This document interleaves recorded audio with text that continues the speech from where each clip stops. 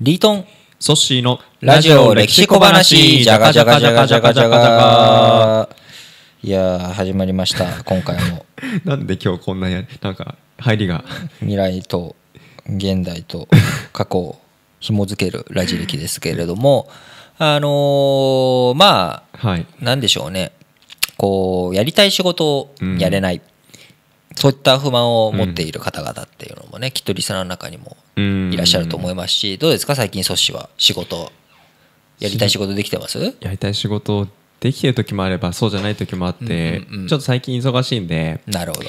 まあありがたいんですけどね、はいはいはい。仕事があるっていうことは。ただやりたいことに時間を割けてるかっていうところはうん。ちょっと立ち止まる必要があるかなと。なるほど。今だから自分の仕事とやりたいことがはい。こうニアリーイコールになってないってことですか？ちょっと違う。うん、やってる時間もあるんですやってる時間もある。あります。ただその割合がどうしても少ない。ほう。うん。なるほど。はい。そうなんですね。えー。えー結構じゃあやっぱ仕事をこう自分で決めるっていう時にはい。何か、えー判断軸としてやりたいかやりたいくないか以外にも要素があるとうん。いうことですか、そうですね。やっぱり自分でねお仕事を取りに行かなきゃいけない立場なのでまあ一度ご相談いただいたお客様なるほど。で答えて差し上げたいなっていう時はまず一回受ける。うんうんうん。っていうことをすると割と継続してお仕事いただくことが多いので、まあ、ありがたいあの悩みではあるんですけどね。えそれってやりたいことではないんですか、その人を助けたいとかっていうのは。助けたいです。それやりたいことじゃないんですか？あのーまあ結構そのラジオとかうんうん。オーディオコンテンツっていうところは僕の一番メインのメインの。関心です、はい。そことまあちょっと距離のある仕事なるほど。になる。ただ僕もあのデジタルマーケティングのポッドキャストを作ってるんですけど、はい。そこのまあ内容が生きる場所ではあるので、うんうんまあなんだ50-50っていう感じかなと思っていますけどね。なるほど。なんかあんまりこう、話を聞いてるとやりたいことなんじゃないのかなっていう、うん。なんかいやいややってる感じではないわけですよね。そうですね。前向きにやってはいます。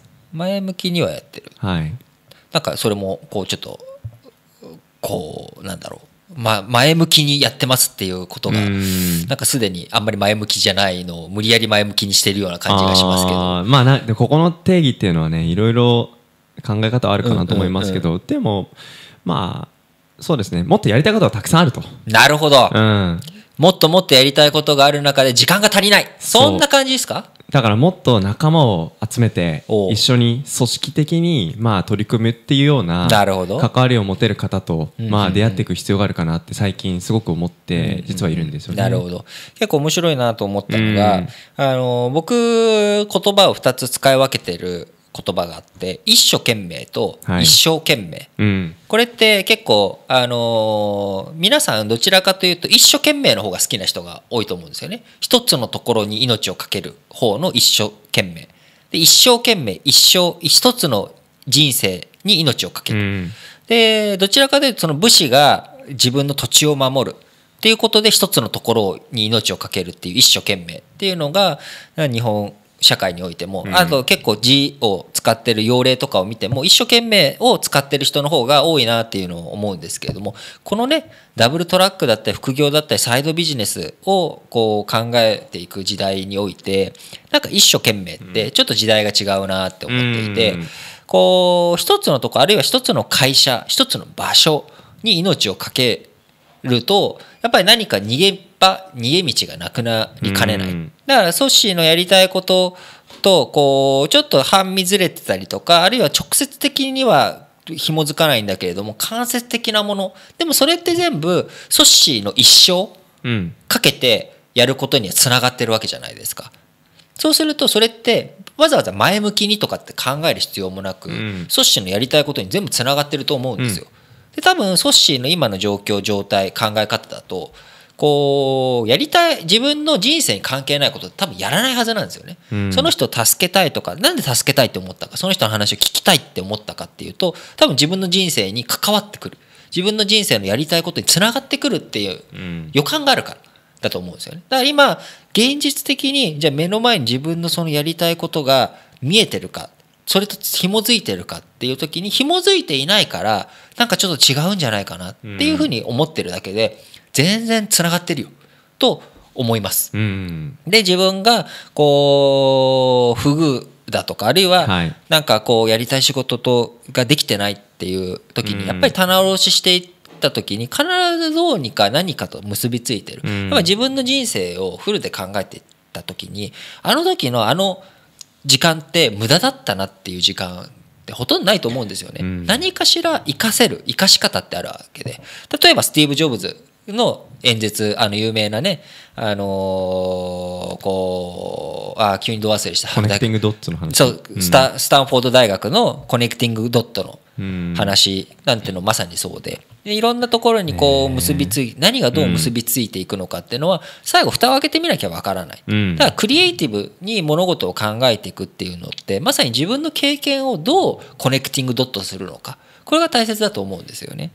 で藤原の高い家っていう人がいるんですけれどもこの人ははい藤原道長の、えーいとこじゃない、えー、と甥っ子だおいっ子甥っ子なんですけど兄貴藤原道長の兄貴の子供なんですよね。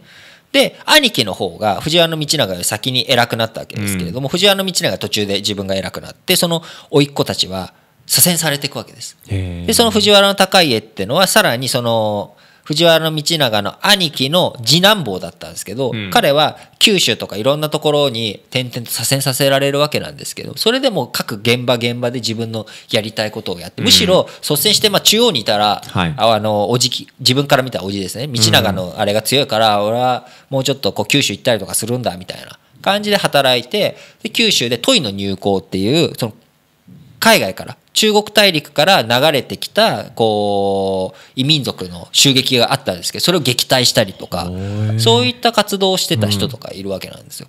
だから必ずしも左遷とかあるいは自分のやりたくない仕事うん。とかあるいはこう自分の身の上にこうそぐわないようなこと。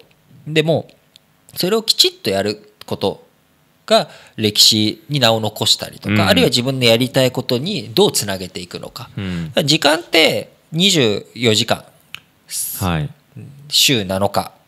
年365日。っていうのはもうみんな決まっていて。でもいつまで生きるかって人それぞれ分かんないけれども、うん。今日この1日24時間与えられた時間をどう使うかっていうところでやっぱりこう自分のお求めていること、はい。考えていることにどう全てを紐づけてうん。一生懸命うん。になってやっていくか。一つの場所にとらわれるんじゃなくて自分の人生に命を懸けていくっていうところうん。が重要なのかなって思いますね。うんそうですねなんか忙しい時間やっぱ多いなと思うんですけど忙しければ忙しいほど自分の本来ありたい姿を考える考える。きっかけになってそこにどう自分を調整していこうかなっていうような試行錯誤。